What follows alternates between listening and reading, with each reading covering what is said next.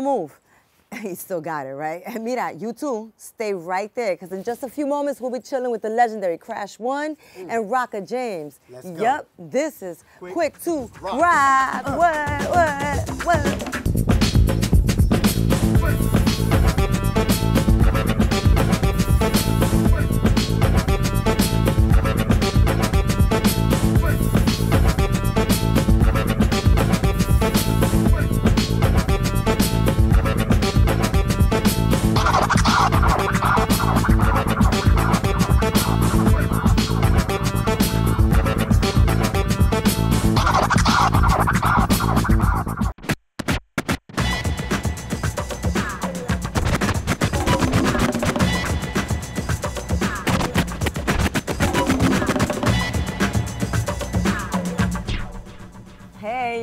Without further delay, let's introduce today's episode's first guest, the legendary, iconic Crash 111. Yay! the audience goes crazy.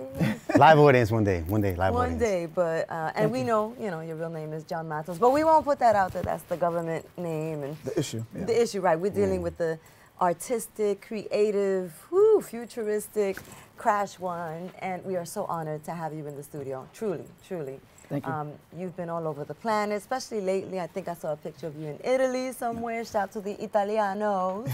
um, so, what's it like, man, holding down your very own gallery slash studio, Wallworks? Um, it's interesting. Um, it opened up um, a door that we never imagined. You know, the idea was to do something and showcase local artists, but also bring in international artists, so there can be a nice conversation going. And it's really, um, it's really opened up some interesting doors.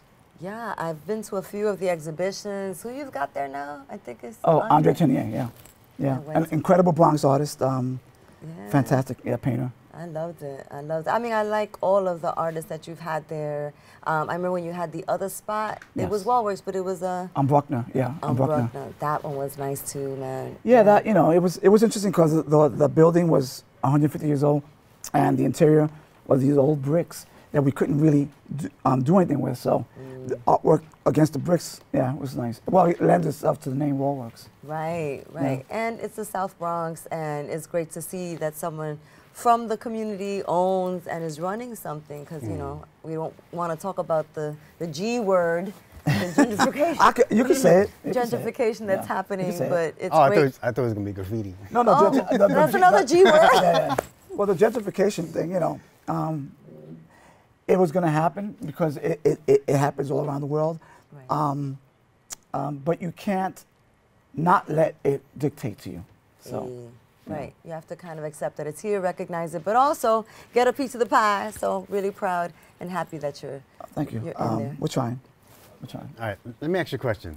Go ahead. Does it feel weird that you had to sneak around to get your name up on walls and trains? Now you're being commissioned to do the same kind of artwork, Right, right? right. You don't have to look over your shoulder. Does that take away from you being a writer? Um, no, I mean, once a writer, always a writer. Um, yeah, so that, that eliminates that conversation. Um, it's, it's funny because you never think in a million years, or thought in a million years that um, you would be doing this as a lifetime thing. Um, my whole purpose in life was to be um, a commercial artist. I knew from the minute I was drawing as a kid that that was, you know, that was my direction, art. But um, then getting into graffiti as a 13 year old, you know, putting two and two together. You kind of already knew. Yeah, yeah. I, I didn't know about the graffiti end of it, but I knew I was going to be doing art in some form.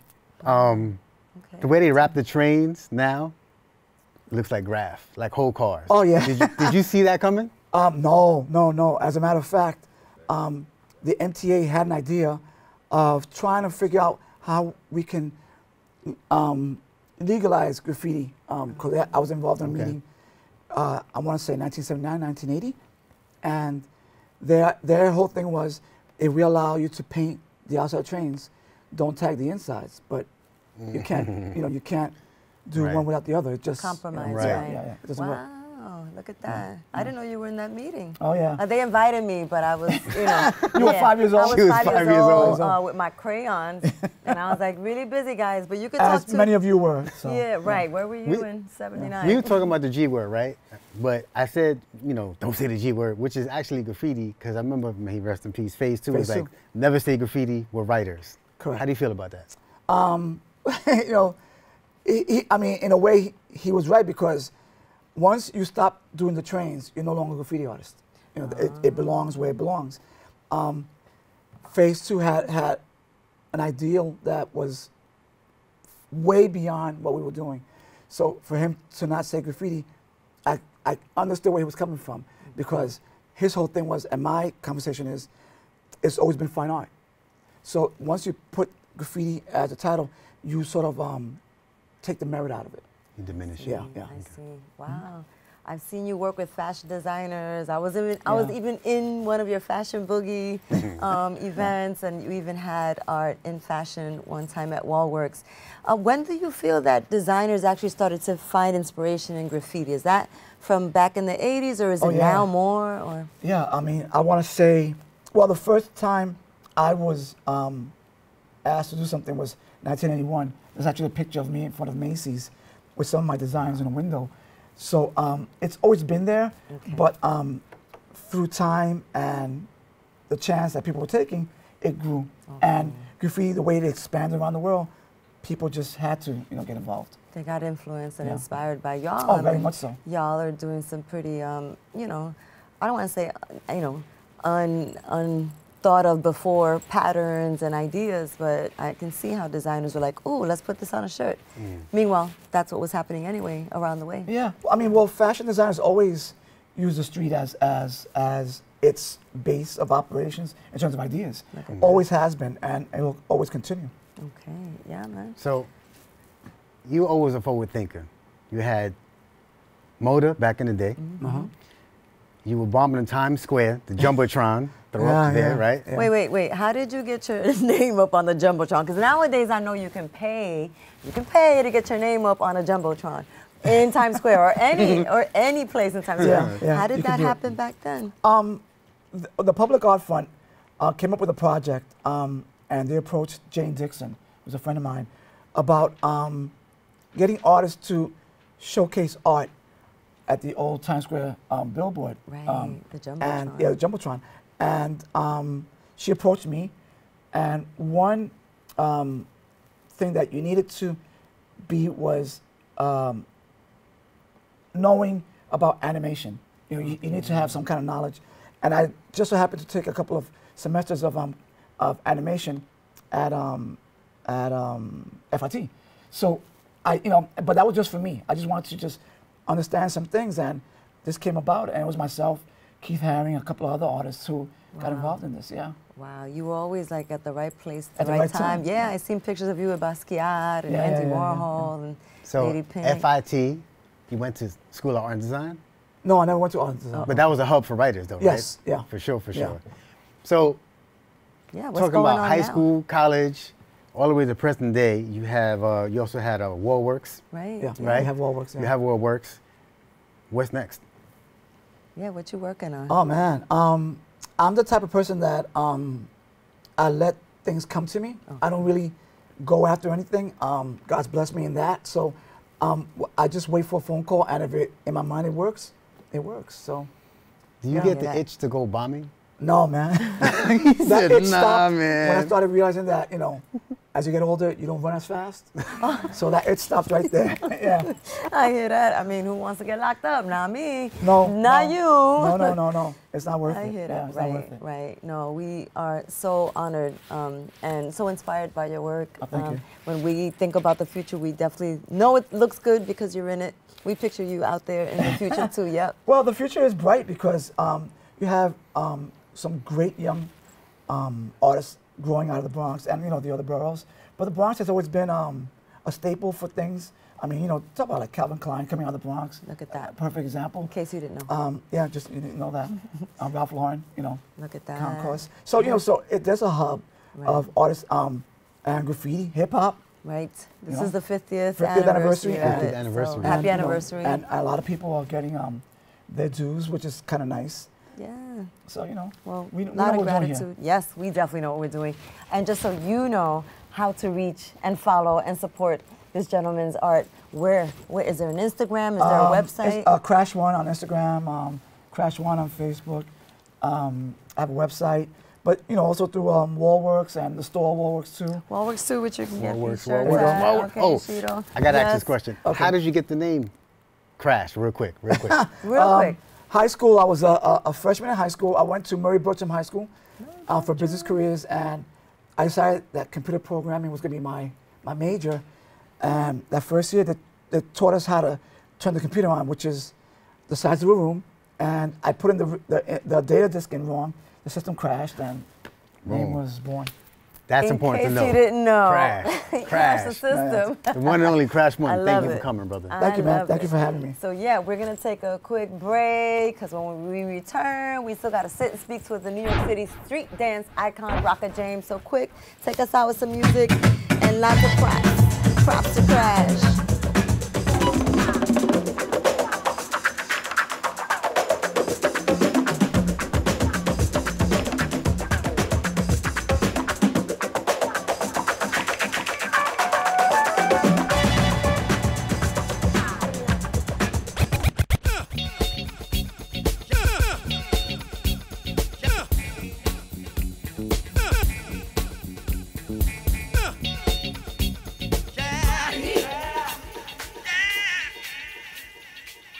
Welcome back.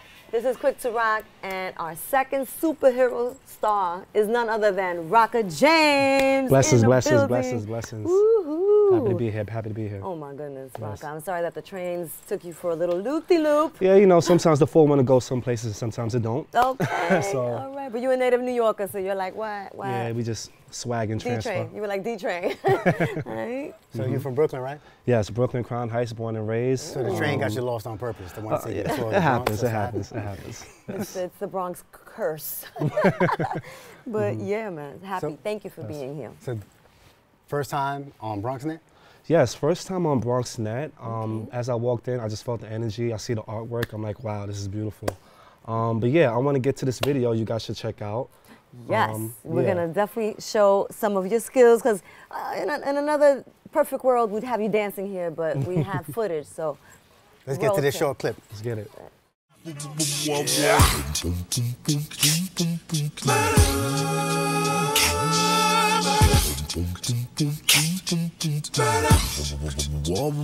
What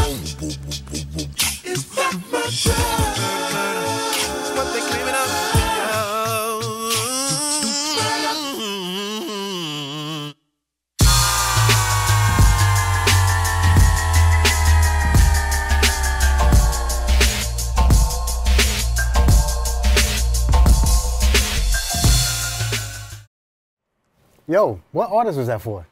Um, well, me and my friends came together. My friends Taiwan, my brother Havoc, Yif, um, and Paulina, if I'm saying her name correctly. We came together to do this video at the parking lot, and um, the artist that's behind the music is Dr. Dre and Kendrick Lamar.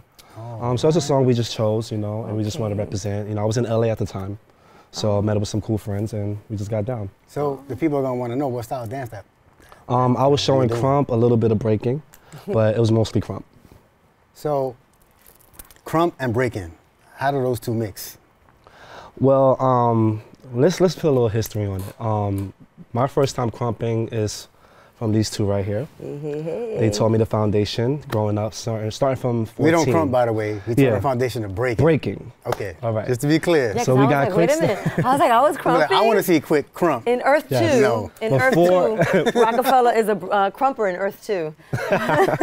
So before I started krumping, I started breaking at the age of 14, and then I got introduced to the door. Um, it was a whole bunch of cool talent, dope dancers, people who just like making a name for themselves, including myself. Right. Um, so training with Rokafella and training with Kwikstep, I learned the foundation of breaking, and I took that to levels where I could imagine myself being with dance. Yeah. Um, and then I picked up krump several years afterwards. Wow, yeah, and you know, krumping isn't a dance style that is, you know, typical of New York City. So you know, a lot of uh, respect and hats off to you for being able to have the original dance style of hip hop, and then also master something that is from the West Coast, right? Krumping Right. is from the West Coast. Krumpin is originated from the LA. There you go.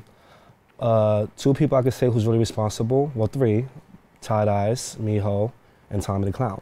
Oh, look at that. Okay. So at that. um, and then it diverse to clowning and krumping in two separate identities, but it's still krump, all in one foundation. Was it first featured in the film um, Rize? It was featured in the Rize. You could see the whole story about Tommy the Clown and Tight Eyez, his upbringing, and Mijo, and you know everyone that's in that film are very important to the whole culture itself. Okay. Wow, Yeah. wow. Well, again, uh, for us to witness your evolution, your expansion, it definitely makes us inspired, makes us feel like the future looks good because, Yeah. you know, it's in good hands, you know. Right. And so, of course, uh, we want to ask you about the event that you're producing. Um, you know, how did that come about? Um, what's the name of it again? Um, we have an event called the Experience. The experience. Okay, was that uh, branching? Oh, I'm sorry, the Existence. The Correction, the Existence. So you have Yeah. Roundz of Flame too, right? And we have, I have Roundz of Flame, the platform I created for all dance cultures to come together. okay. Um, dance, battle, perform, express, um, and even party. You know, so we do all that in one house. How, how long has that been evolving?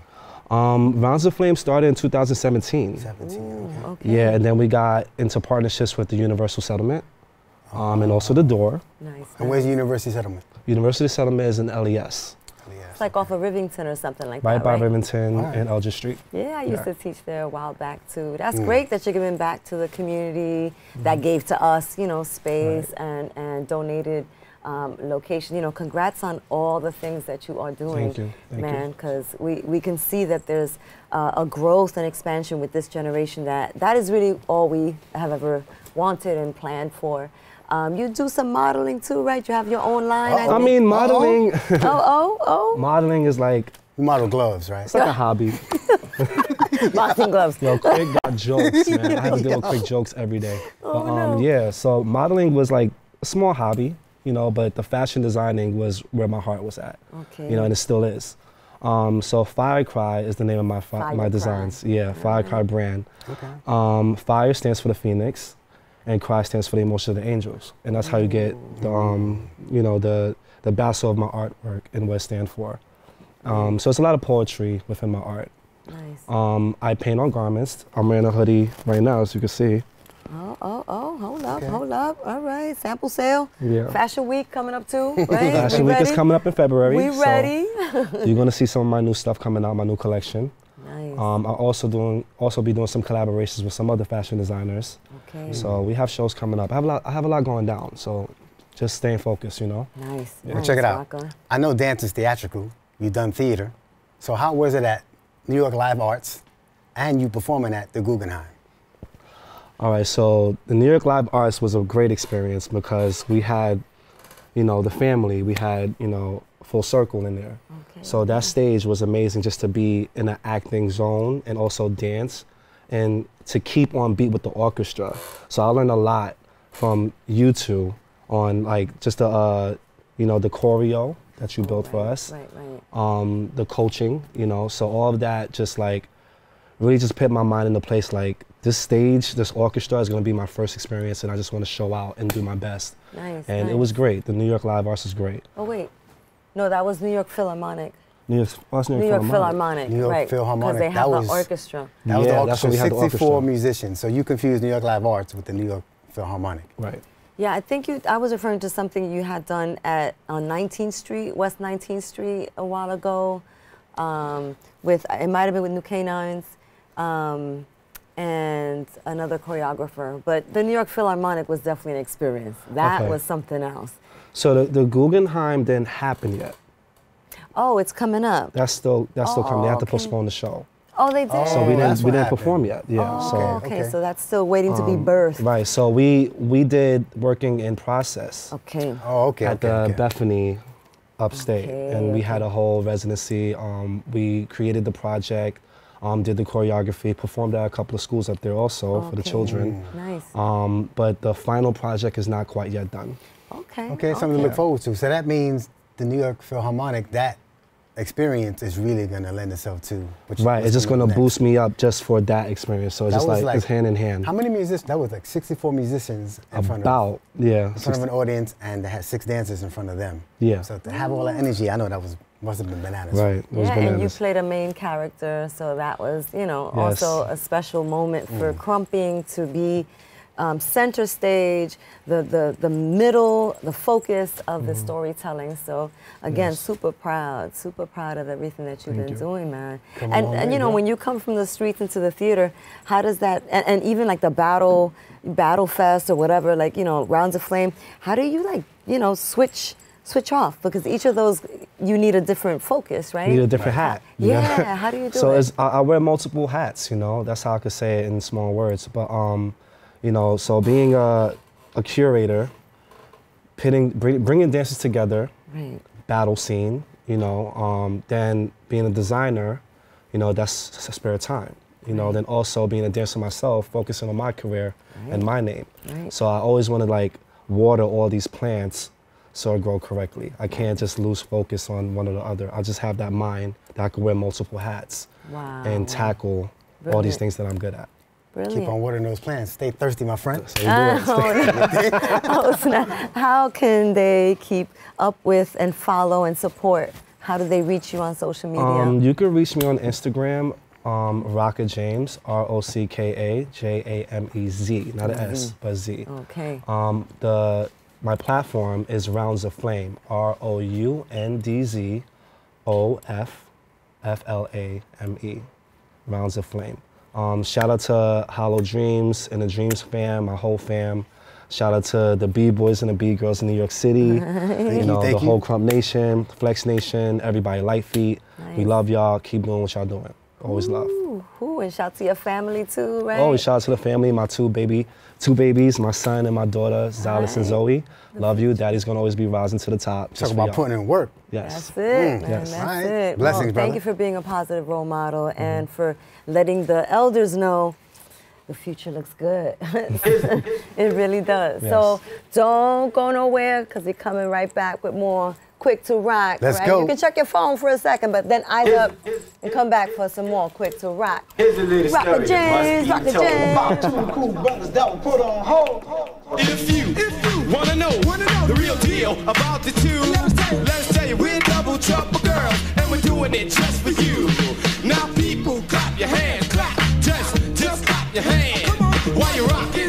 Beat of the two, and we got the master plan. So clap your hands, young ladies, y'all ready? And fly guys, if you wanna get down with us.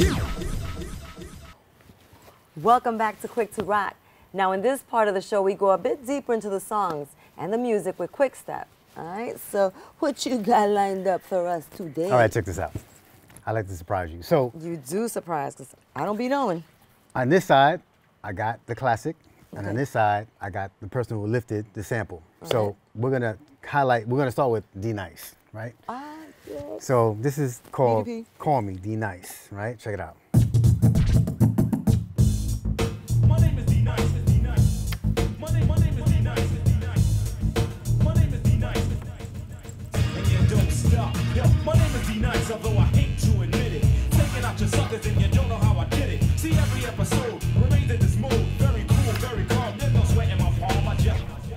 Like that one. I remember that one. Remember that? That yes. was the joint right there. Yes. So you can hear the sample, right? It's grungy. So this is really special because it's layered. I'm gonna get into that. All right. What that layering means. But the sample you took comes from this group right here called the Turtles. Stop playing. That's the real name. the Turtles. The. Turtles. oh. Right? My name is D Nice, although I hate to admit it. Taking out your suckers and you don't know how I did it. See. You hear it? I like it. I like it. I like D Nice's version a little more. Don't stop. Yo, my name is D Nice, although I hate to admit it. Ah. So you hear that. So that's that's that sample right there, right? Oh, that's good. So what but was- D, D Nice's kind of like pulled it up more. Like it feels a little more aggressive. Right. aggressive. But he still kept it like raw into the, the real feel of what that break is. Right. Right. And I'm gonna explain that later because there was another group that took it and made it. They beefed it up even more. But I'm gonna explain that in a few. Okay. Now the next section is gonna be a drum drop, that boom bap. This drum drop comes from an artist by the name of Rufus.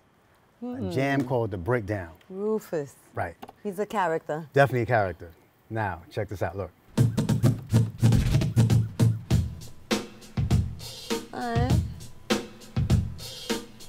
Alright. It's a good enough beat Right. right, there. I can Now. see people rhyming off that.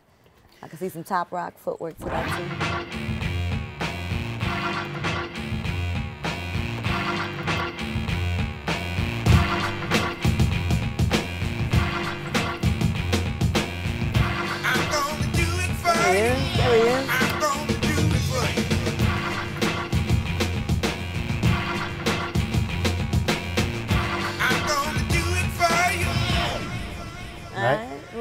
So a lot of times when you, you know, before you even produce a beat, you're mixing it right on top of one another. You're like, oh, this would be flavor. I'm gonna make this into a beat for my man, right? Right. So now you have the beat, you had that grungy organ, right? And on top of that, you had a bass line. That bass line comes from a brother by the name of Paul Nero, and it's called Detroit Soul.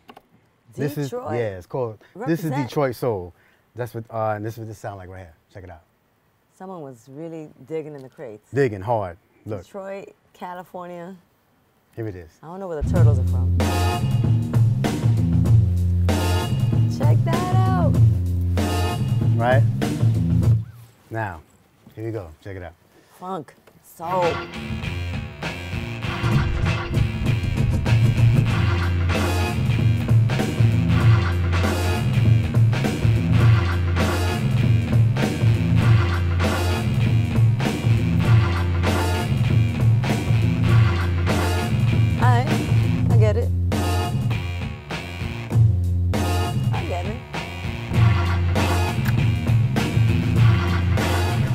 So those the three layers plus D All the Nice's three layers. Lyrics over it. All Forget three it, layers, forget it. right? So, you know, he kept the classic, but then there was a group by the name of X Clan that took it and they beefed it up.